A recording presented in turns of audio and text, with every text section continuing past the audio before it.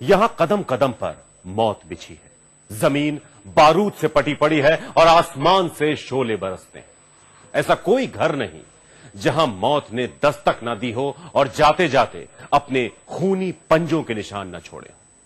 इसके बावजूद लोग यहाँ जाते हैं और अपनी जान गंवाकर या फिर उम्र भर के लिए अपाहिज होकर चले आते कैसी है मौत की वादी की ये अजीबोगरीब कशिश? आप ही देखिए।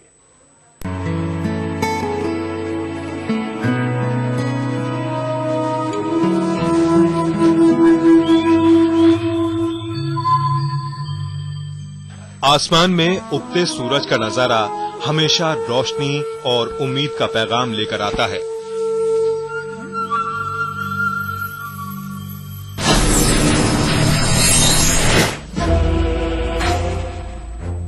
मगर पहाड़ियों के दामन में बसे इस गाँव पर रात के अंधेरे के बाद रोशनी की पहली किरण जैसे ही पड़ती है, पूरा गाँव किसी अनजान खतरे के ख्याल से बेचैन हो उठता है।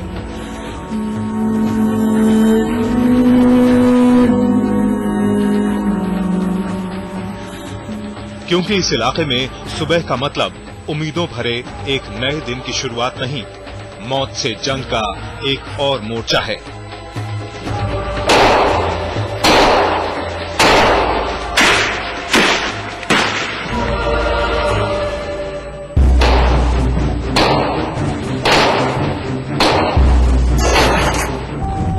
सुना आपने।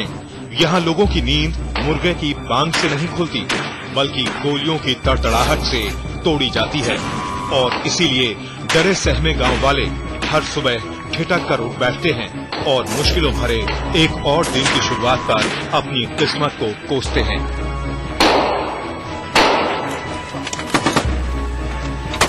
इस वादी में अकेले गोलियों की आवाज़ ही नहीं गूंजती, बल्कि बीच बीच में बड़े धमाके भी सुनाई देते हैं।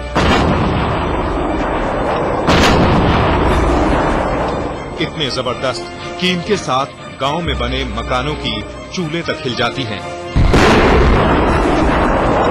दहशत बहुत ज़्यादा होती है। कई दफ़ा तो ऐसे बम खतरनाक बम चलाते कि हमारे मकान की खिड़कियाँ टूट जाती है कई की पट्टियाँ टूट गई और इतने ज़बरदस्त धमाका करते हैं इसकी कोई इंतहा नहीं। जी हाँ अरावली की पहाड़ियों के बीच बसा ये गाँव हिंदुस्तान के सबसे खतरनाक इलाकों में से एक है। वजह साफ़ है। इस इलाके में बिना नागा हर रोज गोलीबारी होती है। वो भी इतनी ज़बरदस्त कि एक दिन में हज़ारों राउंड गोलियाँ और टनों बारूद सर्फ हो जाता है। लोग यहाँ अपनी जान हथेली पर लेकर चलते हैं और हर कदम एहतियात से बढ़ाते हैं, क्योंकि जिस ज़मीन के नीचे मौत कदम कदम पर बिछी हो वहाँ जरा सी लापरवाही भी जानलेवा साबित हो सकती है।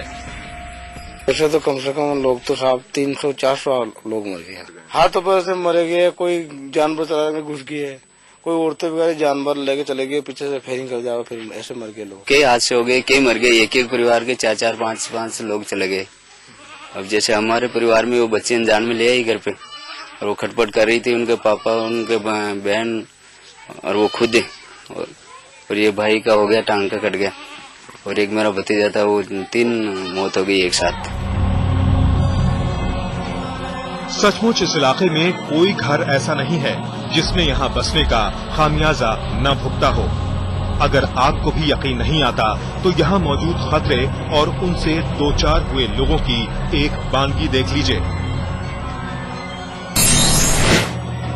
अब इसे इनकी किस्मत कहिए या बदकिस्मती। मौत को करीब से देख चुके ये लोग गोलियों और खतरनाक बमों की मार झेलकर भी ज़िंदा बच गए हैं। गाँव वालों को एक ऐसी कहानी सुनाने, जिसे सुनकर उनके आज भी रोंगटे खड़े हो जाते हैं।